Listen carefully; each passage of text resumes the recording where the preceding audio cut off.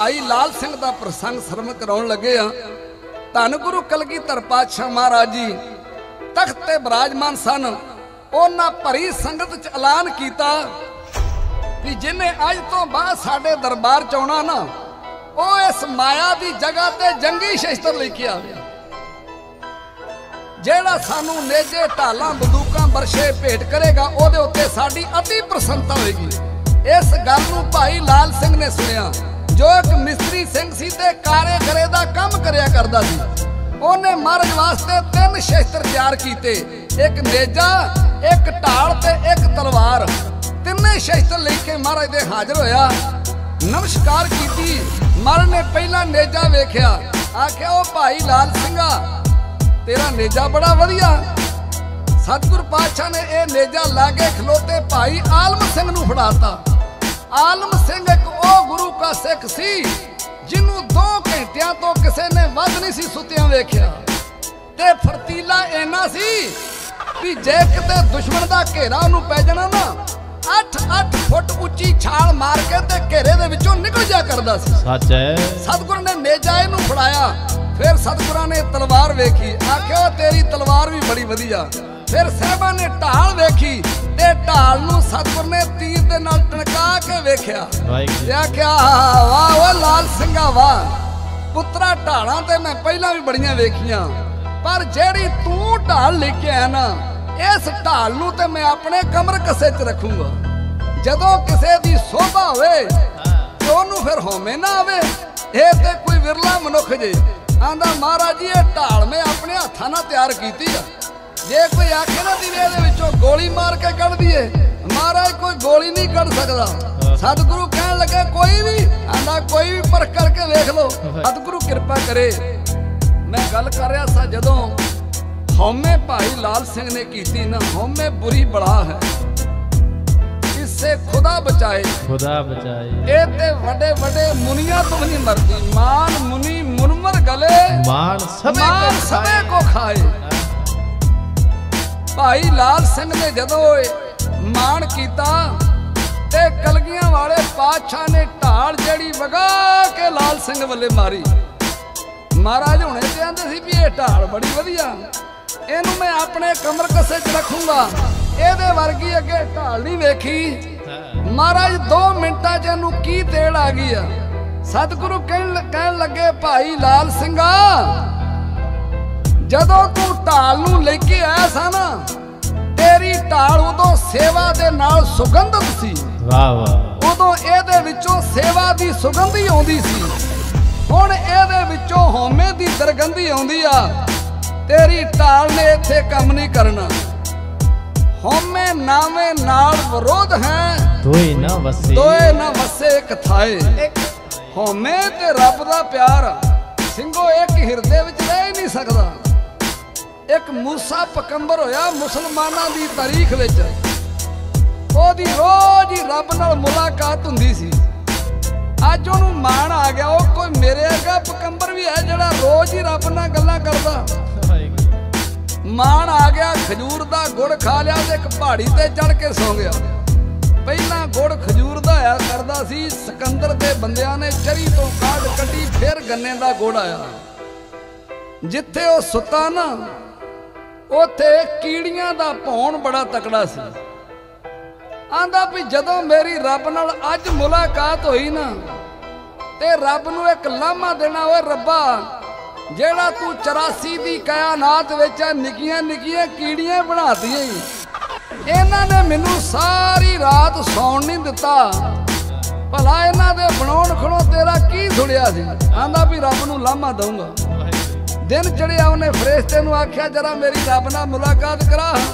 ਉਹਨੇ ਆਖਿਆ, ਠਹਿਰ ਜਾ, ਅਜੇ ਕੋਈ ਫਰਿਆਦੀ ਅੰਦਰ ਫਰਿਆਦ ਕਰਨ ਲਿਆ ਆਂਦਾ, ਉਹ ਕਮਾਲ ਦੀ ਬਾਤ ਆ, ਦੁਨੀਆ ਵਿੱਚ ਇਹ ਗੱਲ ਪ੍ਰਚਲਿਤ ਆ ਵੀ ਮੂਸੇ ਤੋਂ ਬਿਨਾ ਰੱਬ ਨੂੰ ਹੋਰ ਕੋਈ ਮਿਲਿਆ ਨਹੀਂ।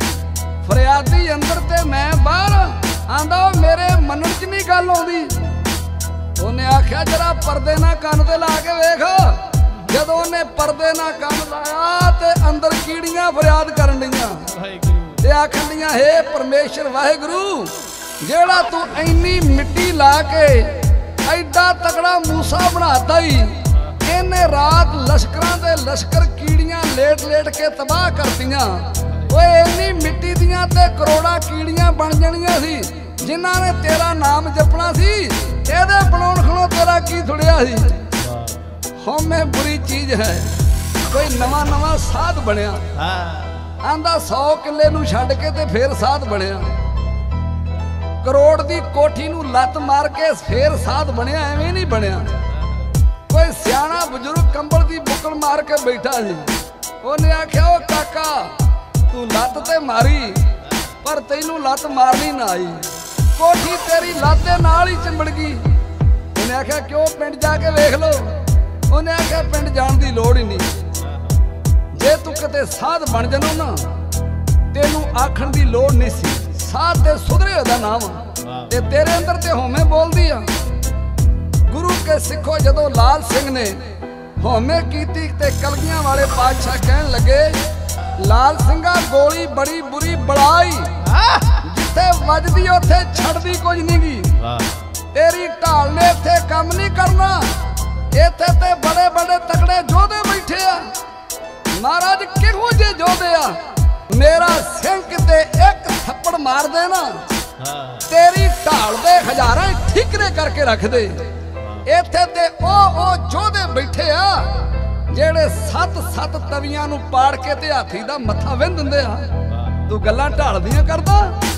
ਜਾ ਇਹਨੂੰ ਹੋਰ ਲੋਹਾ ਥੱਪ ਲਾ ਇਹਨੂੰ ਹੋਰ ਆਬਾਂ ਦੇ ਲਾ। ਇਹਨੂੰ ਹੋਰ ਟੈਂਪਰ ਦੇ ਲਾ। ਦਿਨ 14ਵੇਂ ਨੂੰ ਲੈ ਕੇ ਆਈ। ਕਿਸੇ ਸਿੱਖ ਦੇ ਕੋਲੋਂ ਗੋਲੀ ਮਾਰ ਕੇ ਤੇਰੀ ਢਾਲ ਦੀ ਪਰਖ ਕਰਾਂਗੇ। ਵਾਹ। ਸਿਆਣੇ ਵਿਦਵਾਨ ਬੈਠੇ ਜੇ ਇਤਿਹਾਸ ਨਾਲ ਮਸ ਰੱਖਦੇ ਜੇ। ਸੈਕਟਰੀ ਸਾਹਿਬ ਬਹੁਤ ਸਿਆਣੇ ਆ। ਗੁਰੂ ਕਿਰਪਾ ਕਰੇ ਬਹੁਤ। ਕੋਈ ਇਤਿਹਾਸਕਾਰ ਉਹਨੂੰ ਗੈਂਡੇ ਦੀ ਢਾਲ ਵੀ ਦੱਸਦੇ ਆ। ਕਿਉਂਕਿ ਗੈਂਡੇ ਦੀ ਢਾਲ ਤੋਂ ਗੋਲੀ ਤਿਲਕ ਜਾਂਦੀ। ਰਹੋ ਵਿਚਾਰ। ਸਤਿਗੁਰ ਪਾਤਸ਼ਾਹ ਕਹਿਣ ਲੱਗੇ, ਇਹਨੂੰ ਪੱਕੀ ਕਰਕੇ ਲਿਆਈ ਤੇ ਫਿਰ ਇਹਦੀ ਪਰਖ ਕਰਾਂਗੇ। ਸੁਣੀਏ, ਮੇਰੇ ਕਲਗੀਧਰ ਪਾਤਸ਼ਾਹ ਲਾਲ ਸਿੰਘ ਤੁਰੇ ਜਾਂਦੇ ਨੂੰ ਕੀ ਕਹਿ ਰਿਹਾ?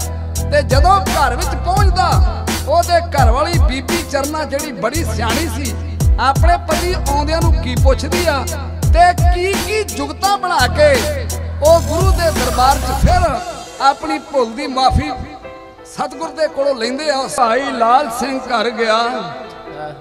ਘਰ ਵਾਲੀ ਬੀਬੀ ਚਰਨਾ ਬੜੀ ਸਿਆਣੀ ਸੀ, ਜਿਹਨੂੰ ਗੁਰਮਤ ਦੀ ਸੂਝ-ਬੂਝ ਸੀ। ਆਪਣੇ ਪਤੀ ਨੂੰ ਪੁੱਛਦੀ, ਪਤੀ ਦੇਵ ਜੀ ਆਨੰਦਪੁਰ ਸਾਹਿਬ ਬਾਜਾਂ ਵਾਲੇ ਦੇ ਦਰਬਾਰ 'ਚ ਗਏ ਸੀ ਤੇ ਗੁਰੂ ਨੇ ਤੁਹਾਡੇ ਤੇ ਕੀ ਬਖਸ਼ਾਂ ਕੀਤੀਆਂ? ਆਂਦਾ ਕਰਮਾਂ ਵਾਲੀਏ, ਮੇਰੀ ਗੁਰੂ ਨੇ ਤੇ ਸੇਵਾ ਸਫਲ ਕਰ ਲਈ ਸੀ। ਪਰ ਮੇਰੀ ਹੋਮੇ ਨੇ ਮੱਤ ਮਾਰ ਲਈ। ਮੈਂ ਆਪਣੇ ਪੈਰਾਂ ਤੇ ਆਪੇ ਕੁਹਾੜਾ ਮਾਰ ਲਿਆ। ਉਹਨੇ ਆਖਿਆ ਗੱਲ ਕੀ ਬਣੀ? ਆਂਦਾ ਗੁਰੂ ਸਾਹਿਬ ਨੇ ਢਾਲ ਦੀ ਬੜੀ ਸਿਫਤ ਕੀਤੀ। ਪਰ ਮੈਂ ਮਾਣ ਵਿੱਚ ਇਹ ਆਖ ਬੈਠਾ ਵੀ ਮਹਾਰਾਜ ਇਹ ਢਾਲ ਬੜੀ ਪੱਕੀ ਇਹਦੇ ਵਿੱਚੋਂ ਕੋਈ ਗੋਲੀ ਨਹੀਂ ਕੱਢ ਸਕਦਾ। ਤੇ ਮਹਾਰਾਜ ਕਹਿਣ ਲੱਗੇ ਇਹਨੂੰ ਚੰਗੀ ਤਰ੍ਹਾਂ ਪੱਕੀ ਕਰਕੇ ਲਿਆਈ ਕਿਸੇ ਸਿੱਖ ਦੇ ਕੋਲੋਂ ਨਿਸ਼ਾਨਾ ਮਾਰ ਕੇ ਤੇਰੀ ਢਾਲ ਪਰਖਾਂਗੇ। ਵਾਹ ਘਰ ਵਾਲੀ ਨੇ ਆਖਿਆ ਪਤੀ ਦੇਵ ਜੀ ਤੈਨੂੰ ਪਤਾ ਨਹੀਂ ਤੂੰ ਕਿਹੜੇ ਦਰਬਾਰ 'ਚ ਗਿਆ ਸਾਂ। ਵਾਹਿਗੁਰੂ। ਓਏ ਉਹ ਕਲਗੀਆਂ ਵਾਲੇ ਪਾਤਸ਼ਾਹ ਦੀਨ ਦੁਨੀਆ ਦੇ ਮਾਲਕ। ਹਾਂ। ਜੋ ਚਾਹਣ ਤੇ ਉਹ ਤੇ ਪਹਾੜਾਂ ਦੀਆਂ ਚੋਟੀਆਂ ਥਾਣੀ ਗੋਲੀਆਂ ਕੱਢ ਸਕਦੇ ਆ। ਤੇ ਤੂੰ ਢਾਲ ਦਾ ਹੀ ਮਾਣ ਕਰ ਲਿਆ। ਇੰਨਾ ਸ਼ਰਮਸ਼ਾਰ ਹੋਇਆ ਅੰਦਰ ਵੜ ਗਿਆ ਤੇ ਦੋ ਦਿਨ ਲਾਲ ਸਿੰਘ ਨੇ ਰੋਟੀ ਨਹੀਂ ਖਾਧੀ। ਫਿਰ ਕੋਈ ਰੱਬ ਦਾ ਪਿਆਰਾ ਮਿਲ ਗਿਆ। ਤੇ ਰੱਬ ਦਿਆਂ ਪਿਆਰਿਆਂ ਨੂੰ ਪਤਾ ਹੁੰਦਾ, ਰੱਬ ਨਾਲੋਂ ਟੁੱਟੀਆਂ ਰੂਹਾਂ ਨੂੰ ਰੱਬ ਨਾਲ ਜੋੜਨਾ ਕਿਤਨਾ ਗੁਰਮੁਖ ਜੋੜਦੇ ਆ ਤੇ ਸਾਖਤ ਤੋੜਦੇ ਆ। ਸਾਖਤ ਦਾ ਬੜਾ ਸੁੰਦਰ ਪ੍ਰਮਾਣ ਆਇਆ, ਜਿਸ ਤਰ੍ਹਾਂ ਕੇਲੇ ਦੇ ਰੁੱਖ ਲਾਗੇ, ਕੋਈ ਬੇਰੀ ਦਾ ਰੁੱਖ ਖਲੋਵੇ। ਵਾਹਿਗੁਰੂ ਹਵਾ ਆਉਂਦੀ ਆ, ਕੇਲੇ ਤੇ ਹਰੇ ਹਰੇ ਪੱਤੇ ਝੂਲਦੇ ਆ। ਤੇ ਬੇਰੀ ਦੇ ਕੰਡੇ ਉਹਨਾਂ ਪੱਤਿਆਂ ਨੂੰ ਲੀਰਾ ਲੀਰਾ ਕੱਢਣ ਦੇ। ਸਾਖਤ ਦਾ ਸੰਗ ਏਡਾ ਮਾੜਾ ਜੀ। ਤੋ ਸਾਖਤ ਤੋੜਦੇ ਆ ਤੇ ਗੁਰਮੁਖ ਜੋੜਦੇ ਆ। ਸਤਿਗੁਰੂ ਕਿਰਪਾ ਕਰੇ ਕਿਸੇ ਮਹਾਂਪੁਰਸ਼ ਦੇ ਨਾਲ ਉਹਦੀ ਸੰਗਤ ਹੋ ਗਈ। ਤੇ ਉਹਨੂੰ ਸਾਰੀ ਵਾਰਤਾ ਦੱਸੀ ਉਹਨੇ ਆਖਿਆ ਗੁਰੂ ਕੇ ਸਿੱਖਾ ਘਬਰਾਉਣ ਦੀ ਲੋੜ ਨਹੀਂ। ਗੁਰੂ ਬੜਾ ਬਖਸ਼ਾਂਦਾ ਗੁਰੂ ਭੁੱਲਿਆਂ ਨੂੰ ਫੇਰ ਗਾਲਾਂ ਲਾ ਲੈਂਦਾ। ਕਰਤ ਹੈ ਜੇਤੇ। ਜਨਨੀ। ਜਨਨੀ ਚੀਤ ਨਾ ਰਾਖਸ ਤੇ ਤੇ ਪੁੱਤ ਭਾਵੇਂ ਕਿੰਨੇ ਗੁਨਾਹ ਕਰੇ ਮਾਂ ਉਹਦੇ ਉੱਤੇ ਪਰਦਾ ਹੀ ਪਾਉਂਦੀ ਹੈ। ਗੁਰੂ ਗੁਨਾਹਾਂ ਤੇ ਪਰਦਾ ਪਾ ਲੈਂਦਾ ਇਦਾਂ ਕਰ। ਤੂੰ ਹੁਣ ਪੰਜ ਨਿਤਨੇਮੀ ਸਿੰਘ ਲੱਭ। ਵਾਹਿਗੁਰੂ ਜੀ। ਜਿਹੜੇ ਬਾਣੀ ਤੇ ਬਾਣੇ ਵਿੱਚ ਪਰਪੱਕ ਹੋਣ ਜਿਹੜੇ ਗੁਰੂ ਕੀ ਰਹਿਤ ਵਿੱਚ ਪਰਪੱਕ ਹੋਣ ਉਹਨਾਂ ਪੰਜਾਂ ਸਿੰਘਾਂ ਨੂੰ ਘਰ ਸੱਦ ਕੇ ਤੇ ਲੰਗਰ ਛਕਾ ਦੇ। ਸਿੰਘ ਅਰਦਾਸ ਕਰੂਗਾ। ਜੋ ਤੇਰੇ ਮਨ ਦੀ ਭਾਵਨਾ ਹੋਈ ਉਹ ਲੈ ਕੇ ਬਹਿ ਜੀ, ਉਹ ਤੇਰਾ ਸੰਕਲਪ ਪੂਰਾ ਹੋ ਜਾਊਗਾ। ਸਿੰਘੋ, ਸਾਡੇ ਘਰ ਵਿੱਚ ਕੋਈ ਬਿਪਤਾ ਬਣ ਜੇ। ਕੋਈ ਕੰਮ ਨਾ ਸਿਰੇ ਚੜੇ ਕੰਮਾਂ ਵਿੱਚ ਵਿਗੜ ਪੈਂਦੇ ਹੋਣ, ਤੇ ਘਬਰਾਉਣ ਦੀ ਲੋੜ ਨਹੀਂ, ਤੇ ਪਖੰਡੀਆਂ ਦੇ ਡੇਰਿਆਂ ਤੇ ਜਾਣ ਦੀ ਲੋੜ ਨਹੀਂ। ਤੁਸੀਂ ਹੁਣ ਵੀ ਪੰਜ ਨਿਤ ਨੇਮੀ ਗੁਰੂ ਕੇ ਸਿੰਘ ਲੱਭੋ। ਉਹਨਾਂ ਪੰਜਾਂ ਸਿੰਘਾਂ ਨੂੰ ਘਰ ਵਿੱਚ ਸੱਦ ਕੇ ਅਰਦਾਸ ਕਰਾਓ। ਕੋਈ ਵੀ ਤੁਹਾਡਾ ਕਾਰਜ ਜਿਹੜਾ, ਉਹ ਅਧੂਰਾ ਨਹੀਂ ਰਹੇਗਾ। ਤੇ ਮੈਂ ਇਹ ਨਹੀਂ ਆਂਦਾ ਵੀ ਜਦੋਂ ਤੁਹਾਡੇ ਘਰ ਬਿਪਤਾ ਬਣੀ, ਲੰਗਰ ਉਦੋਂ ਹੀ ਛਕਾਉਣਾ। ਨਹੀਂ, ਖੁਸ਼ੀ ਵੇਲੇ ਵੀ ਸਿੰਘਾਂ ਨੂੰ ਲੰਗਰ ਛਕਾ ਦਿਆ ਕਰੋ। ਵਾਹ ਇਹਦੀ ਬਹੁਤ ਵੱਡੀ ਮਾਨਤਾ ਹੈ। ਸ਼ਾਇਦ ਕਿਸੇ ਪ੍ਰਚਾਰਕ ਨੇ ਸਟੇਜ ਤੇ ਨਾ ਗੱਲ ਕੀਤੀ ਹੋਵੇ। ਮਹਾਰਾਜ ਕਹਿੰਦੇ ਹਨ ਕਰ ਪ੍ਰਸ਼ਾਦ ਸਿੱਖ ਮੁਖ ਪਾਵੇ। ਤਿਸ ਸਿੱਖ ਕੇ ਗੁਰੂ ਵਾਰ ਨੇ ਜਾਵੇ ਮੈਂ ਉਹ ਸਿੱਖ ਦੇ ਵਾਰ ਨੇ ਜਾਊਂਗਾ ਜਿਹੜਾ ਮੇਰੇ ਸਿੰਘਾਂ ਨੂੰ ਲੰਗਰ ਛਕਾਏਗਾ। ਸਿੱਖ ਉਹ ਸਿੱਖ ਜੋ ਅੰਬਰ ਦੀਨਾ ਅੰਬਰ ਕਿਹਾ ਗਿਆ ਕੱਪੜੇ ਨੂੰ ਤੇ ਅਸ ਕਿਹਾ ਗਿਆ ਘੋੜੇ ਨੂੰ। ਜਦੋਂ ਹਿੰਦੂ ਲੋਕ ਸਮੇਤ ਜਗ ਕਰਦੇ ਹਨ ਕਈ ਢੰਗਾਂ ਦੇ ਨਾਲ ਉਹ ਘੋੜੇ ਵੱਢ ਕੇ ਉਹਨਾਂ ਦਾ ਮਾਸ ਅੱਗ ਵਿੱਚ ਸਾੜ ਕੇ ਤੇ ਸਮੇਤ ਜਗ ਕਰਦੇ। ਮਹਾਰਾਜ ਕਹਿੰਦੇ ਤੁਹਾਨੂੰ ਇਹ ਕੁਝ ਕਰਨ ਦੀ ਲੋੜ ਨਹੀਂ। ਕਿਸੇ ਗੁਰੂ ਕੇ ਸਿੱਖ ਨੂੰ ਵਸਤਰ ਭੇਟਾ ਕਰ ਦਿਓ। ਸਮੇਤ ਜਗ ਦਾ ਫਲ ਉਹਨਾਂ ਵਸਤਰਾਂ ਤੋਂ ਪ੍ਰਾਪਤ ਹੋਏਗਾ। ਮਹਾਰਾਜ ਕਹਿੰਦੇ ਚਾਪੀ ਕਰ ਹੈ ਮਨੇ ਮਲੇ ਸਿੱਖ ਕਰਨਾ। ਤਿਸ ਤਿਸ ਸਿੱਖ ਕੋ ਮੈਂ ਲੀਨੂ ਸਰਨਾ। ਮੇਰੇ ਸਿੱਖ ਦੀ ਮੁੱਠੀ ਚਾਪੀ ਵੀ ਕਰਨੀ ਹੈ। ਭਾਈ ਗੁਰਦਾਸ ਜੀ ਦੀਆਂ ਵਾਰਾਂ ਪੜੋ ਭਾਈ ਗੁਰਦਾਸ ਜੀ ਕਹਿੰਦੇ ਪੰਜ ਵਾਰ ਗੰਗ ਜਾਏ ਬੜਾ ਪੰਜ ਪਾਪ ਪ੍ਰਾਗ ਨਾਏ ऐसा कौन एक गुर से कौन वाहे का? सिख को सिख को पिलाए पानी पाए कर गुर खैत असमित जग फल सिख को जीवाए का। जैसे सत मंदिर कंचन के उसार दीने ऐसा पुन सिख को एक शब्द सिखाए का? जैसे बीस बार दर्शन साध किया कहू। साध किया कहू तैसा फल सिख को चापक बख्शवाए का। वाह।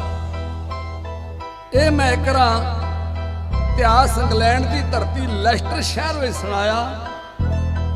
ਤੇ ਜਦੋਂ ਅਸੀਂ ਸੁਣਾ ਕੇ ਇਤਿਹਾਸ ਤੇ ਆਪਣੇ ਕਮਰੇ ਵੱਲੇ ਗਏ ਨਾ, ਇੱਕ ਨੌਜਵਾਨ ਚੜ੍ਹਦੀ ਕਲਾ ਵਾਲਾ ਸਿੰਘ ਤੇ ਸਰੋਂ ਦੇ ਤੇਲ ਦੀ ਐਡੀ ਲੰਮੀ ਬੋਤਲ ਲੈ ਕੇ ਤੇ ਸਾਡੇ ਕਮਰੇ 'ਚ ਆ ਵੜਿਆ। ਮੈਂ ਕਿਹਾ ਉਹ ਭਾਈ ਸਾਹਿਬ ਜੀ। ਆਂਦਾ ਸਿੰਘੋ, ਲੰਮੇ ਪੈ ਜਾਓ ਇਹ। ਮੈਂ ਕਿਹਾ ਕਾਤੋਂ ਆਂਦਾ ਤੁਹਾਡੀ ਮਾਲਿਸ਼ ਕਰਨੀ ਆ ਮੈਂ ਕਿਹਾ ਵੀ ਸਾਡੀ ਮਾਲਿਸ਼ ਕਿਉਂ ਕਰਨੀ ਆ? ਆਂਦਾ ਵੀ ਹੁਣੇ ਤੇ ਤੁਸੀਂ ਸਟੇਜ ਤੇ ਸਭ ਕੁਝ ਦੱਸ ਕੇ ਆਏ ਜੇ। ਮੱਥਾ ਗੁਰੂ ਸਾਹਿਬ ਨੂੰ ਟੇਕੀਦਾ ਹੁੰਦਾ ਉਸ ਸਿੱਖ ਨੇ ਅੱਗਿਓਂ ਬਾਣੀ ਦੀ ਪੰਕਤੀ ਉਚਾਰਨ ਕਰ ਦਿੱਤੀ। ਤੇ ਮਹਾਂਪੁਰਸ਼ਾਂ ਨੇ ਉਸ ਬਾਣੀ ਦੀ ਪੰਕਤੀ ਦੇ ਅਰਥ ਨਹੀਂ ਸੀ ਉਲਟਾਏ। ਉਹਨਾਂ ਆਖਿਆ ਉਹ ਤੇ ਸਿੱਖ ਅਜੇ ਸੀ ਬਣੇ ਨਹੀਂਗੇ ਜਿਹੜੇ ਗੁਰਬਾਣੀ ਨੇ ਆਖਿਆ। ਸਿੱਖ ਤੇ ਤੁਸੀਂ ਵੀ ਘੋਂਦੇ ਤੇ ਅਸੀਂ ਵੀ ਘੋਨੇ ਹਾਂ। ਪਰ ਚੌਥੇ ਪਾਤਸ਼ਾਹ ਸੋਢੀ ਸੁਲਤਾਨ ਧੰਨ ਗੁਰੂ ਰਾਮਦਾਸ ਮਾਰ ਨੂੰ ਪੁੱਛੋ ਕਿ ਸਿੱਖ ਆਂਦੇ ਕਿਨੂੰ? ਉਹ ਸਿੱਖ ਦਾ ਨਕਸ਼ਾ ਖਿੱਚਦੇ ਆ। ਗੁਰ ਸਿੱਖ ਗੁਰ ਸਤਗੁਰ ਕਾਜੋ। ਸਿੱਖ ਸਿੱਖ ਅਖਾਏ ਅਖਾਏ ਸੋ ਭਲਕੇ ਉਠਾਰ ਨਾਮ ਤੇ ਆਵੇ ਉਤਮ ਕਰੇ ਭਲਕੇ ਪ੍ਰਭਾਤੀ। ਇਸ਼ਨਾਨ ਕਰੇ ਅੰਮ੍ਰਿਤਸਰ ਨਾਵੇ। ਉਪਦੇਸ਼ ਗੁਰੂ ਹਰ ਹਰ ਜਪ ਜਾਪੈ। ਸਭ ਕਿਲਵਖ ਪਾਪ ਦੋਖ ਲੈ ਜਾਵੇ। ਫਿਰ ਚੜੇ ਦਿਵਸ ਗੁਰਬਾਣੀ ਗਾਵੇ। ਬੈੰਦਿਆਂ ਉੱਠਦਿਆਂ ਹਰ ਨਾਮ ਧਿਆਵੇ। ਜੋ ਸਾਸ ਗਰਾਸ ਧਿਆਏ ਮੇਰਾ ਹਰ ਹਰ ਸੋ ਗੁਰ ਸਿੱਖ ਗੁਰੂ ਮਨ ਭਾਵੇ ਜਿਸ ਨੂੰ- ਦਿਆਲ ਹੋਏ ਮੇਰਾ ਸੁਆਮੀ ਤਿਸ ਗੁਰ ਸਿੱਖ ਗੁਰੂ ਉਪਦੇਸ਼ ਸੁਣਾਵੇ। ਜਨ ਨਾਨਕ ਧੂੜ ਮੰਗੇ ਤਿਸ ਗੁਰ ਸੇਕੀ ਜੋ ਆਪ ਜਪੈ ਅਵਰ ਨਾਮ ਜਪਾਵੇ। ਨਾਮ ਜਪਾ ਲੱਗੋ ਲੱਭੋ ਇਹੋ ਜਿਹਾ ਸਿੱਖ। ਤੇ ਫਿਰ ਉਹਦੀ ਸੇਵਾ ਕਰਿਓ, ਫਿਰ ਗੁਰੂ ਵੇਖਿਓ ਘਰ ਵਿੱਚ ਕਿਤਨਾ ਲਹਿਰਾਂ ਬਹਿਰਾਂ ਕਰ ਦਿੰਦਾ। ਭਾਈ ਲਾਲ ਸਿੰਘ ਨੇ ਪੰਜ ਨਿਤ ਨੇਮੀ ਲੱਭੇ ਸਿੰਘ ਜਿਹੜੇ ਬਾਣੀ ਤੇ ਬਾਣੇ ਵਿੱਚ ਪਰਪੱਕ ਸਨ। ਬੀਬੀ ਚਰਨਾ ਨੇ ਬੜੇ ਪਿਆਰ ਤੇ ਸ਼ਰਧਾ ਦੇ ਨਾਲ ਸਤਨਾਮ ਸ੍ਰੀ ਵਾਹਿਗੁਰੂ ਕੇ ਆਟੇ ਵਿੱਚ ਜਲ ਪਾਇਆ। ਤੇ ਬਾਣੀ ਪੜ ਕੇ ਲੰਗਰ ਤਿਆਰ ਕੀਤਾ, ਬਾਣੀ ਪੜ੍ਹ ਕੇ ਮੋਬਾਈਲ ਵੇਖ ਕੇ ਨਹੀਂ। ਮੈਂ ਵੇਖਿਆ ਵੀ ਹੁਣ ਤੇ ਆਟਾ ਵੀ ਇੱਕੇ ਹੱਥ ਨਾਲ ਗੁੱਝਦਾ। ਦੂਜੇ ਨਾਲ ਮੋਬਾਈਲ ਹੀ ਚੱਲਦਾ ਤੇ ਸ਼ਗਨ ਵਾਲਾ ਵੀ ਇਦਾਂ ਹੀ ਕਰਦਾ। ਇੱਕ ਹੱਥ ਨਾਲ ਮੋਬਾਈਲ ਫੇਸਬੁੱਕ ਖੋਲ ਕੇ ਬੈਠਾ ਹੁੰਦਾ। ਪਰ ਕਦੇ ਸੋਚਿਆ, ਹੁਣ ਸਾਨੂੰ ਸਾਇੰਸ ਕੀ ਦੱਸ ਰਹੀ ਮੈਡੀਕਲ? ਵੀ ਆਪਣੇ ਹੱਥ ਬਾਰ-ਬਾਰ 20 ਸੈਕਿੰਡ ਮਲ ਕੇ ਧੋ ਤੇ ਇਹਨਾਂ ਨੂੰ ਬਾਰ-ਬਾਰ ਧੋ ਤੇ ਜਿੰਨੀ ਵਾਰ ਹੱਥ ਸਾਫ਼ ਕਰਦੇ ਜੇ ਉਹਨਾਂ ਉਨੀ ਵਾਰ ਹੀ ਇਹ ਜਿਹੜਾ ਮੋਬਾਈਲ ਆ। ਮਾੜਾ ਨਹੀਂ ਆਖਣਾ ਤਾਂ ਕੰਮ ਬੜੇ ਲਈਦੇ ਆ, ਪਰ ਬਿਮਾਰੀ ਬੜੀ ਤਕੜੀ ਆ।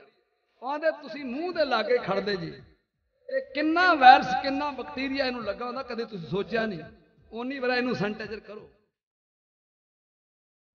ਤੇ ਗੁਰਸਿੱਖੀ ਦੀ ਮਰਿਆਦਾ ਹੈ ਕਿ ਗੁਰੂ ਦਾ ਸਿੱਖ ਛਕਣ ਤੋਂ ਪਹਿਲਾਂ ਵੀ ਆਪਣੇ ਹੱਥ ਸੁੱਚੇ ਕਰਦਾ ਤੇ ਛਕਣ ਤੋਂ ਬਾਅਦ ਚ ਵੀ ਕਰਦਾ।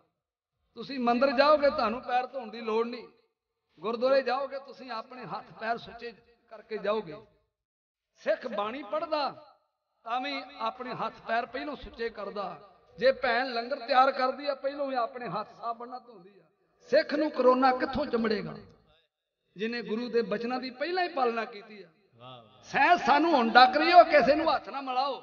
ਤੇ ਮਹਾਰਾਜ ਦੇ ਬਚਨ ਆਗੇ ਆਵਤ ਸਿੰਘ ਜੋ ਪਾਵੇ ਵਾਹਿਗੁਰੂ ਜੀ ਵਾਹਿਗੁਰੂ ਕੀ ਫਤਿਹ ਬੁਲਾਵੇ। ਫਤਿਹ ਬੁਲਾਵਾ। ਭਾਵੇਂ ਇੱਕ ਆਉਂਦਾ ਤੇ ਭਾਵੇਂ 15 ਆਉਂਦੇ ਇਕੱਠੇ ਹੀ ਫਤਿਹ ਬੁਲਾ ਦੇ। ਵਾਹ ਵਾਹ। ਗੁਰੂ ਕੇ ਸਿੱਖੋ ਗੁਰੂ ਦੇ ਹਰ ਬਚਨ ਦੇ ਵਿੱਚ ਸੁਖ ਜੀ। ਜਿਹੜੇ ਮੈਡੀਕਲ ਸਾਨੂੰ ਹੁਣ ਡੱਕ ਰਿਹਾ ਜਦੋਂ ਤੁਸੀਂ ਜਨਤਕ ਥਾਵਾਂ ਤੋਂ ਹੋ ਕੇ ਆਉਂਦੇ ਜੇ ਆਪਣੇ ਬਸਤਰਾਂ ਨੂੰ ਪਹਿਲਾਂ ਆ ਕੇ ਧੋ, ਇਹਨਾਂ ਨੂੰ ਲਾਹ ਦਿਓ। ਪਤਾ ਨਹੀਂ ਜਿੱਥੇ ਤੁਸੀਂ ਬੈਠੇ ਜੇ, ਇੱਥੇ ਕਿੰਨਾ ਕੁ ਮਟੀਰੀਅਲ ਅਗਲਾ ਛੱਡ ਕੇ ਗਿਆ। ਤੇ ਹੁਣ ਮੈਂ ਵੇਖਿਆ ਚੰਡੀਗੜ੍ਹ ਵਿੱਚ ਹਰ ਬੰਦਾ,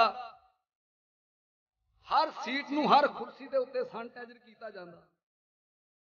ਪਰ ਗੁਰਮਤੀਏ ਸਿੱਖ ਜਦੋਂ ਬਾਹਰੋਂ ਆਉਂਦੇ ਹਨ, ਉਦੋਂ ਹੀ ਸਾਰੀ ਇਹ ਕਿਰਿਆ ਕਰਦੇ, ਇਸ਼ਨਾਨ ਵੀ ਕਰਦੇ, ਆਪਣੇ ਬਸਤਰ ਵੀ ਧੋਂਦੇ ਸਤਿਗੁਰੂ ਕਿਰਪਾ ਕਰੇ ਆ ਪਿਛਲੇ ਦਿਨੀ ਮੈਂ ਦਵਾਈ ਲੈਣ ਗਿਆ ਤੇ ਡਾਕਟਰ ਦੀ 500 ਫੀਸ ਸੀ। ਜਦੋਂ ਮੈਂ ਉਹਨੂੰ ਰੁਪਈਆ 500 ਦੇਣ ਲੱਗਾ, ਉਹਨੇ ਪੈਸੇ ਮੇਰੇ ਕੋਲੋਂ ਹੱਥ 'ਚ ਨਹੀਂ ਫੜੇ। ਉਹਨੇ ਇੱਕ ਚੀਨੀ ਦਾ ਭਾਂਡਾ ਜਲਿਆ ਸੀ ਆਂਦਾ ਉਹਦੇ ਵਿੱਚ ਪਾ ਦਿਓ। ਮੈਂ ਕਿਹਾ, ਤੁਸੀਂ ਹੱਥ 'ਚ ਕਿਉਂ ਨਹੀਂ ਪੈਸੇ ਫੜੇ? ਆਂਦੇ ਪਤਾ ਨਹੀਂ ਇਹਨੂੰ ਕਿੰਨਾ ਕੁ ਮਟੀਰੀਅਲ ਚੰਬੜਿਆ ਤੇ ਕਿੰਨੇ ਕਿੰਨੇ ਹੱਥਾਂ ਦੇ ਵਿੱਚ ਹੋ ਕੇ ਆਇਆ। ਇਹਨੂੰ ਪਹਿਲਾਂ ਸੈਨੀਟਾਈਜ਼ਰ ਕਰਨਾ ਤੇ ਫਿਰ ਇਹਨੂੰ ਫੜਨਾ। ਮੇਰੇ ਗਵਾਂਢ ਵੀ ਡਾਕਟਰ ਆ ਤੇ ਅੱਗੇ ਵੀ ਡਾਕਟਰ ਮੈਂ ਵੇਖਿਆ ਡਾਕਟਰ ਸਬਜ਼ੀ ਲਵੇ ਤੇ ਜਿਹੜਾ ਬਕਾਇਆ ਉਹਨੇ ਦਿੱਤਾ ਨਾ ਸਬਜ਼ੀ ਵਾਲੇ ਨੇ, ਉਹਨੇ ਲਫਾਫੇ ਜੀ ਹੀ ਪਾ ਲਿਆ, ਹੱਥ ਨਹੀਂ ਫੜਿਆ। ਟਕਸਾਲ ਵਿੱਚ ਗੁਰਮਤੀਆ ਸਿੱਖ ਵਾ ਭਾਈ, ਸਰਜੀਤ ਸਿੰਘ ਸੋਧੀ। ਮੈਂ ਕਿਹਾ ਵੀ ਇਹਨੂੰ ਸੋਧੀ ਕਵਾਂਦੇ ਆ? ਆਂਦੇ ਵੀ ਹਰ ਚੀਜ਼ ਦੇ ਸੋਧ ਕੇ ਛਕਦਾ। ਲੰਗਰ ਬਣਾਉਣਾ, ਸੋਧ ਕੇ ਭਾਂਡੇ ਛਕਣਾ, ਸੋਧ ਕੇ ਜੇ ਫਲ ਤੇ ਉਹਨੂੰ ਵੀ ਸੋਧ ਕੇ ਛਕਣਾ ਤੇ ਮੈਂ ਕਿਹਾ, ਸੋਧੀ ਕਿੱਥੋਂ ਨਾ ਪਿਆ? ਆਂਦਾ, ਇਹ ਪੈਸੇ ਵੀ ਸੋਧ ਦਿੰਦਾ। ਵਾ। ਇਹ ਜਿਹੜੇ ਰੁਪਈਏ ਮੱਥਾ ਟੇਕਦਾ ਨਾ, ਇਹ ਪਹਿਲਾਂ ਸਰਫਦਾਰੀ ਕੱਢਦਾ ਸਾਰਿਆਂ ਨੂੰ। ਮੈਂ ਕਿਹਾ ਵੀ ਸੋਜੀ ਸੋਧੀ ਦੇ ਪਹਿਲਾਂ ਸੜ ਤੋਂ ਸਿਆਣਾ ਸੀ ਜਿਹੜਾ ਇੰਨਾ ਸੁਚੇਤ ਹੋਇਆ ਸੀ। ਗੁਰੂ ਕੇ ਸਿੱਖੋ, ਗੁਰੂ ਦੇ ਹਰ ਬਚਨ ਦੇ ਵਿੱਚ ਸੁਖ ਤੇ ਸ਼ਾਂਤੀ ਹੈ ਧੀਰਜ ਹੈ, ਉਹਦੇ ਵਿੱਚੋਂ ਕੁਝ ਲੱਭਦਾ ਜੇ ਅਸੀਂ ਗੁਰੂ ਦੇ ਬਚਨ ਪਾਲੀਏ ਤੇ। ਤੋ ਆਓ ਸਤਿਗੁਰੂ ਪਾਤਸ਼ਾਹ ਮਹਾਰਾਜ ਦੇ ਸਿੱਖਾਂ ਵਾਸਤੇ ਬੀਬੀ ਚਰਨਾ ਨੇ ਬੜੇ ਭਾਵਨਾ ਨਾਲ ਲੰਗਰ ਤਿਆਰ ਕੀਤਾ, ਪੰਜਾਂ ਸਿੰਘਾਂ ਨੂੰ ਲੰਗਰ ਛਕਾਇਆ, ਹੱਥ ਸੁੱਚੇ ਕਰਾਏ ਫਿਰ ਜਥਾ ਸ਼ਕਤ ਭੇਟਾ ਦਿੱਤੀ ਤੇ ਇੱਕ ਸਿੰਘ ਨੇ ਅਰਦਾਸ ਕੀਤੀ ਦਾਣਾ ਪਾਣੀ ਗੁਰੂ ਕਾ ਟਹਿਲ ਭਾਵਨਾ ਸਿੱਖ ਦੀ ਲੇਖੇ ਲਾਉਣੀ ਤੇ ਸਿੱਖ ਦੇ ਮਨ ਦੇ ਸੰਕਲਪ ਸਤਿਗੁਰੂ ਪੂਰੇ ਕਰ ਦੇਣੇ। ਵਾਹਿਗੁਰੂ। ਤੇ ਭਾਈ ਲਾਲ ਸਿੰਘ ਨੇ ਮਨ ਸੰਕਲਪ ਇਹ ਨਹੀਂ ਸੀ ਰੱਖਿਆ ਕਿ ਮਹਾਰਾਜ ਮੈਂ ਅੱਗੇ ਹੰਕਾਰ ਕਰ ਬੈਠਾ ਮੈਨੂੰ ਹੁਣ ਮਾਫ ਕਰ ਦੀ। ਉਹਨੇ ਮਨ ਸੰਕਲਪ ਇਹ ਰੱਖਿਆ ਸੀ ਵੀ ਕਲਗੀਆਂ ਵਾਲਿਆ ਪਾਤਸ਼ਾਹ ਜਦੋਂ ਮੈਂ ਤੇਰੇ ਦਰਬਾਰ ਵਿੱਚ ਇਹ ਢਾਲ ਲੈ ਕੇ ਆਵਾਂ ਨਾ ਮੇਰੀ ਇਹ ਢਾਲ ਨਾ ਟੁੱਟੇ। ਵਾਹਿਗੁਰੂ। ਇਹ ਅਰਦਾਸ ਕਰਕੇ ਮੰਜ਼ਲਾ ਮਾਰਦਾ ਆਨੰਦਪੁਰ ਸਾਹਿਬ ਪਹੁੰਚ ਗਿਆ। ਵਾਰੀ ਆਈ ਢਾਲ ਅੱਗੇ ਰੱਖ ਕੇ ਆਂਦਾ ਮਹਾਰਾਜ ਨੂੰ ਹੁਣ ਪਰਖੋ। ਸਿੱਖ ਵੇਖ ਰਹੇ ਵੀ ਇਹਨੇ ਤੇ ਮਾਫੀਆਂ ਮੰਗਣੀਆਂ ਸੀ ਇਹ ਅੱਗੇ ਨੂੰ ਵੀ ਔਖਾ ਜਾ ਕੁੰਦਾ। ਮਹਾਰਾਜ ਤਖਤ ਤੋਂ ਉੱਠੇ ਕਹਿਣ ਲੱਗੇ ਵੀ ਲੈ ਚਲੋ ਇਹਨੂੰ ਸ਼ਹੀਦੀ ਬਾਗ ਵਿੱਚ। ਹਾਂ। ਫੌਜੀ ਟ੍ਰੇਨਿੰਗ ਦਿਆ ਕਰਦੇ ਸੀ। ਸੱਚ? ਮਹਾਰਾਜ ਕਹਿਣ ਲੱਗੇ ਲਾਲ ਸਿੰਘਾ ਇਹ ਢਾਲ ਨੂੰ ਉਹ ਥੜੇ ਤੇ ਰੱਖ ਦੇ ਭਾਈ ਲਾਲ ਸਿੰਘ ਨੇ ਕੱਲੀ ਢਾਲ ਹੀ ਨਹੀਂ ਰੱਖੀ ਆਪ ਹੀ ਥੜੇ ਤੇ ਚੜ ਗਿਆ। ਮਹਾਰਾਜ ਕਹਿਣ ਲੱਗੇ ਉਹ ਗੋਲੀ ਤੇ ਢਾਲ ਦੇ ਮਾਰਨੀ ਆ। ਤੂੰ ਇੱਥੇ ਬੈਠਾ ਕੀ ਕਰਦਾ? ਹੁਣ ਸੁਣਿਓ ਸਿੱਖੀ ਸ਼ਰਧਾ। ਅਰਦਾਸਾਂ ਤੇ ਆਪਾਂ ਵੀ ਕਰਦੇ ਆ। ਕੋਈ ਕਾਰਜ ਰਾ- ਨਾ ਰਾਸ ਹੋਏ ਤੇ ਫਿਰ ਮੜੀਆਂ ਮਸਾਣਾ ਤੇ ਕਬਰਾਂ ਨੂੰ ਪੂਜਨ ਤੁਰ ਜਾਂਦੇ ਆ। ਭਾਈ ਲਾਲ ਸਿੰਘ ਨੇ ਆਖਿਆ ਮਹਾਰਾਜ ਜੀ ਤੁਸੀਂ ਗੋਲੀ ਚਲਵਾਓ। ਜੇ ਇਹ ਢਾਲ ਵੱਜੂਗੀ ਤਾਂ ਵੱਜੂਆ ਨਹੀਂ ਤੇ ਜੀ ਕੇ ਕੀ ਲੈਣਾ? ਵਾਹਿਗੁਰੂ। ਜਦੋਂ ਇੰਨਾ ਭਰੋਸਾ ਕਰ ਲਿਆ ਫਿਰ ਕਲਗੀਆਂ ਵਾਲੇ ਦੇ ਦਰਬਾਰ ਵਿੱਚ ਭਾਈ ਮਾਨ ਸਿੰਘ ਰਿਆ ਕਰਦਾ ਸੀ ਜੋ ਪਹਿਲੇ ਨੰਬਰ ਦਾ ਨਿਸ਼ਾਨੀ ਸੀ ਚਾਂਚੀ ਸੀ। ਵਾਹ ਤੇ ਜੇ ਨਿਸ਼ਾਨਾ ਸ਼ੇਰ ਦਾ ਸਿਰ ਲੈ ਕੇ ਮਾਰਦਾ ਸੀ ਨਾ ਤੇ ਉਹ ਗੋਲੀ ਦਾ ਨਿਸ਼ਾਨਾ ਸ਼ੇਰ ਦੇ ਸਿਰ ਹੀ ਵੱਜਦਾ ਸੀ। ਸੱਚ ਪਹਿਲੇ ਨੰਬਰ ਦਾ ਨਿਸ਼ਾਨਚੀ ਮਰ ਨੇ ਉਹਨੂੰ ਰਫਲ ਕਿਹੜੀ ਫੜਾਈ? ਕੰਨ ਘੋਰ। ਕੰਨ ਕਹੀਏ ਬਦਲਾਂ ਨੂੰ ਜਿਹੜੀ ਬਦਲਾਂ ਨੂੰ ਚੀਤ ਵਾਲੀ ਰਫਲ ਸੀ। ਮੇਰੇ ਪਾਤਸ਼ਾਹ ਨੇ ਭਾਈ ਮਾਨ ਸਿੰਘ ਨੂੰ ਫੜਾਤੀ। ਤਾਂ ਨਿਸ਼ਾਨਾ ਮਾਰਿਆ ਨਿਸ਼ਾਨਾ ਨਹੀਂ ਵੱਜਾ। ਦੂਜਾ ਮਹਾਰਾਜ ਕਹਿਣ ਲੱਗੇ ਉਹ ਤੇਰਾ ਨਿਸ਼ਾਨਾ ਕਿਉਂ ਨਹੀਂ ਲੱਗਾ? ਦਾ ਪਤਾ ਨਹੀਂ ਸਤਿਗੁਰੂ ਕਿਉਂ ਨਹੀਂ ਲੱਗਾ? ਮਹਾਰਾਜ ਕਹਿਣ ਲੱਗੇ ਹੋਰ ਭਰ ਕੇ ਮਾਰ ਕਿਹੜਾ ਗੋਲੀਆਂ ਮੋਗੀਆਂ? ਦੂਜਾ ਫੈਰ ਭਰਿਆ ਦੂਜਾ ਮਾਰਿਆ ਦੂਜਾ ਵੀ ਪਾਸਿਓਂ ਦੀ ਨਿਕਲ ਗਿਆ। ਵਾਹ ਸਤਿਗੁਰੂ ਕਹਿਣ ਲੱਗੇ ਓਏ ਮਾਨ ਸਿੰਘਾ ਢਾਲ ਦੇ ਗਾੜੀ ਕੀ ਚਟਾਨ ਆ ਗਈ? ਓ ਤੇਰੀ ਗੋਲੀ ਕਿਉਂ ਨਹੀਂ ਵੱਜਦੀ? ਰਫਲ ਥੱਲੇ ਰੱਖ ਕੇ ਕਹਿਣ ਲੱਗਾ ਮਹਾਰਾਜ ਜਿਤਨਾ ਸੂਰਜ ਨੂੰ ਵੇਖ ਕੇ ਬੰਦੇ ਦੀਆਂ ਅੱਖਾਂ 'ਚ ਜਾ ਜਾਂਦੀਆਂ ਨਾ ਵਾਹਿਗੁਰੂ। ਮਹਾਰਾਜ ਮੈਨੂੰ ਤੇ ਹਜ਼ਾਰਾਂ ਸੂਰਜਾਂ ਦਾ ਚਾਨਣ ਉਸ ਢਾਲ ਵਿੱਚੋਂ ਪੈ ਰਿਹਾ ਮੈਂ ਗੋਲੀ ਕਿੱਥੇ ਮਾਰਾਂ? ਸਿਆਣੇ ਬੈਠੇ ਕੋਈ ਇਤਿਹਾਸ ਵਿੱਚ ਲਾ ਭਾਈ ਮਾਨ ਸਿੰਘ ਦਾ ਜ਼ਿਕਰ ਕਰਦੇ ਆ। ਕੋਈ ਭਾਈ ਆਲਮ ਸਿੰਘ ਦਾ ਜ਼ਿਕਰ ਕਰਦੇ ਰਹੋ ਵਿਚਾਰ। ਜਦੋਂ ਸਿੰਘ ਦਾ ਨਿਸ਼ਾਨਾ ਨਾ ਵੱਜਾ ਮੇਰੇ ਪਾਤਸ਼ਾਹ ਨੇ ਫਿਰ ਆਪ ਰਫਲ ਚੁੱਕ ਲਿਆ। ਕਹਿਣ ਲੱਗੇ ਲਾਲ ਸਿੰਘਾ ਤਗੜਾ ਹੋ ਜਾ ਗੋਲੀ ਹੁਣ ਅਸੀਂ ਚਲਾਉਣੀ। ਵਾਹਿਗੁਰੂ। ਮੇਰੇ ਪਾਤਸ਼ਾਹ ਨੇ ਜਦੋਂ ਰਫਲ ਚੁੱਕੀ ਸਿਸਤ ਲਈ ਪਰ ਮੇਰੇ ਪਾਤਸ਼ਾਹ ਨਿਸ਼ਾਨਾ ਨਾ ਲਾਇਆ। ਦੂਜੀ ਵਾਰ ਫੇਰ ਸਿਸਤ ਲਈ ਪੈਂਤਲਾ ਬੱਧਾ ਗੋਲੀ ਸਤਗੁਰਾਂ ਫੇਰ ਨਾ ਚਲਾਈ। ਉਹਨਾਂ ਚਿਰ ਨੂੰ ਲਾਲ ਸਿੰਘ ਦਾ ਵੀ। ਸਿੰਘਾਂ ਦੀ ਸੇਵਾ ਕਰਕੇ ਤੇ ਹਉਮੈ ਦਾ ਤਾਪ ਜਿਹੜਾ ਨਾ ਉਹ ਵਿੱਚੋਂ ਨਿਕਲ ਚੁੱਕਾ ਸੀ। ਥੜੇ ਤੋਂ ਥੱਲੇ ਆ ਗਿਆ ਆਂਦਾ ਮਹਾਰਾਜ ਗੋਲੀ ਚਲਾ ਲਿਓ। ਪਰ ਇੱਕ ਬਚਨ ਚੇਤੇ ਕਰੋ ਤੁਸੀਂ ਆਖਿਆ ਸੀ ਦਿਨ 14ਵੇਂ ਨੂੰ ਲੈ ਕੇ ਆਈ। ਕਿਸੇ ਸਿੱਖ ਦੇ ਕੋਲੋਂ ਗੋਲੀ ਮਾਰ ਕੇ ਤੇਰੀ ਢਾਲ ਦੀ ਪਰਖ ਕਰਾਂਗੇ, ਤੁਸੀਂ ਆਪ ਨਹੀਂ ਸੀ ਆਖਿਆ। ਮਹਾਰਾਜ, ਮੈਂ ਤੇ ਆਮ ਬੰਦਿਆਂ ਦੀ ਗੱਲ ਕੀਤੀ ਸੀ। ਕਲਗੀਆਂ ਵਾਲੇ ਬਾਦਸ਼ਾਹ ਨੇ ਘੁੱਟ ਕੇ ਗੱਲ ਵਕੜੀ 'ਚ ਲੈ ਲਿਆ। ਜਿਤਨਾ ਪਰਦੇਸਾਂ 'ਚੋਂ ਆਏ ਪੁੱਤ ਨਾਲ ਮਾਂ ਪਿਆਰ ਕਰਦੀ ਹੈ ਨਾ, ਸਤਿਗੁਰੂ ਇਸ ਤਰ੍ਹਾਂ ਭਾਈ ਲਾਲ ਸਿੰਘ ਨੂੰ ਪਿਆਰ ਕਰੀ ਜਾ ਰਿਹਾ। ਲਾਗੋ ਭਾਈ ਦਇਆ ਸਿੰਘ ਨੇ ਪੁੱਛਿਆ, ਮਹਾਰਾਜ ਜੀ, ਇਹਨਾਂ ਚੋਜਾਂ ਦੀ ਕੋਈ ਸਮਝ ਨਹੀਂ ਲੱਗ ਰਹੀ। ਵੀ ਮਹਾਰਾਜ ਇਹ ਹੋ ਕੀ ਰਿਹਾ? ਤੁਸੀਂ ਦੋ ਵਾਰਾਂ ਮਹਾਰਾਜ ਪੈਂਤਲਾ ਬੱਧਾ ਸਿੱਤ ਲਈ ਪਰ ਗੋਲੀ ਕਿਉਂ ਨਹੀਂ ਢਾਲਦੇ ਮਾਰੀ? ਮੇਰੇ ਅੰਤਰਜਾਮੀ ਸਤਿਗੁਰੂ ਕਹਿਣ ਲੱਗੇ ਭਾਈ ਦਇਆ ਸਿੰਘਾ ਵਾਹਿਗੁਰੂ। ਉਹ ਤੈਨੂੰ ਦਸੀਏ ਕੀ? ਭਾਈ ਲਾਲ ਸਿੰਘ ਨੇ ਪ੍ਰਬੰਧ ਏਡੇ ਕਰੜੇ ਕਰ ਲਏ ਸੀ। ਓਏ ਢਾਲ ਨੂੰ ਤੇ ਨੌਵਾਂ ਗੁਰੂਆਂ ਨੇ ਹੱਥ ਪਾਏ ਸੀ ਅਸੀਂ ਗੋਲੀ ਕਿੱਥੇ ਚਲਾਉਂਦੇ? ਵਾਹਿਗੁਰੂ। ਢਾਲ ਨੂੰ ਤੇ ਸ਼ਹੀਦਾਂ ਸਿੰਘਾਂ ਨੇ ਫੜਿਆ ਸੀ। ਅਸੀਂ ਨਿਸ਼ਾਨਾ ਕਿੱਥੇ ਵਾਹ ਅੱਜ ਸ਼ਹੀਦਾਂ ਦਾ ਕੀ ਮਜ਼ਾਕ ਉਡਾਇਆ ਜਾ ਰਿਹਾ? ਕਿਸੇ ਬੁੜੀ ਸ਼ਹੀਦ ਆ ਜਾਂਦਾ ਕਿਸੇ ਬੱਚੇ ਚ ਆ ਜਾਂਦਾ। ਸ਼ਹੀਦ ਜਿਹੜੇ ਉਹ ਅਮਰਪੁਰੀ ਦੇ ਵਾਸੀ ਹੁੰਦੇ ਆ। ਸ਼ਹੀਦ ਕਿਸੇ ਵਿੱਚ ਆਉਂਦੇ ਨਹੀਂ। ਸ਼ਹੀਦ ਜਿਹੜੇ ਆ ਨਾ ਗੁਰੂ ਕੇ ਸਿੱਖੋ ਸ਼ਹੀਦ ਆਂਦੂ ਕਹਿੰਦੇ ਕਿਨੂੰ? ਜਿਹੜੇ ਸੱਚ ਦੀ ਗਵਾਹੀ ਦੇ ਕੇ ਮੌਤ ਦਾ ਦਰਵਾਜ਼ਾ ਪਾਰ ਕਰ ਦੇਣ ਉਹਨਾਂ ਨੂੰ ਸ਼ਹੀਦ ਆਂਦੇ ਆ। ਸ਼ਹੀਦ ਵਾਹਿਗੁਰੂ ਨਾਲ ਜੋਤ ਮਿਲੀ ਹੁੰਦੀ ਆ। ਤੇ ਜੇ